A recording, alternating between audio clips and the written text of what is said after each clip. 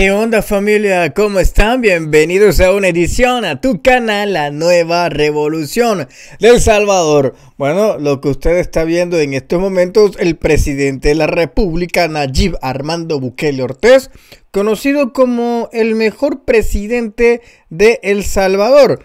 Bueno, le cuento.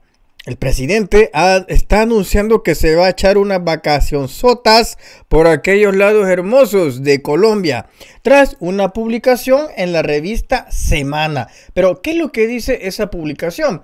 Bueno, veamos lo siguiente. Dice, el milagro Bukele, la impresionante historia de Nayib Bukele, el presidente que rescató a El Salvador, el éxito de su guerra contra la criminalidad y los choques con su eh, choques con Gustavo Petro han logrado captar la atención de los colombianos. Y bueno, esto es parte de la portada. Pero vamos a ver qué es lo que dicen eh, todas las personas. Dice, sí, cómo no, ya los norteamericanos destaparon lo podrido de Bukele y ha, colocado una persona algo que publicó CNN, que nosotros los salvadoreños sabemos que eso no tiene nada que ver. Dice, la receta de Bukele ha sido sencilla. Firmeza y negociación cero, a huevo. Este vato sí sabe. La cuestión es que la revista de la semana le ha dedicado un extracto al presidente Nayib Armando Bukele y esta revista es colombiana. Creo que iré de vacaciones a Colombia. ¿Creen ustedes que Nayib realmente irá de vacaciones a Colombia? Bueno, yo creo que sí. Yo creo que Nayib sí es capaz. Es más fácil que vaya a Colombia y que no vaya allá a ¿cómo se llama? A Honduras, donde lo acaban de invitar recientemente. Así que aquellos que les conté, imaginándose que el Presi va a Colombia, sacando su libro de jugadas antidemocráticas. Y bueno, ahí lo tienen, pero es que al Gustavo Petro le han volado pija, brother.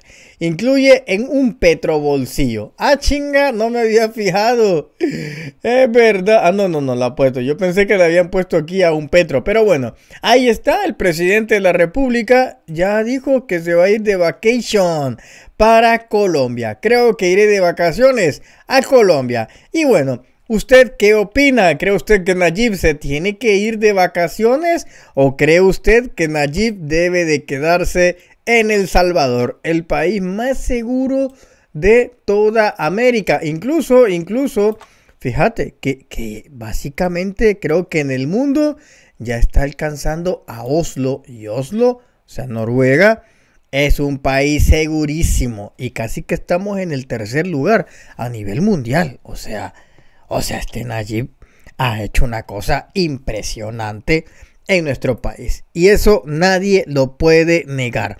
Así que, bueno, ahí le dejo a usted esta breve noticia. Cuídese mucho, se les quiere y de gratis. Y los invito a ver mi podcast, que es el video que usted está viendo en la pantalla de enfrente. Así que familia, muchas gracias, se les quiere y de gratis. Hasta pronto.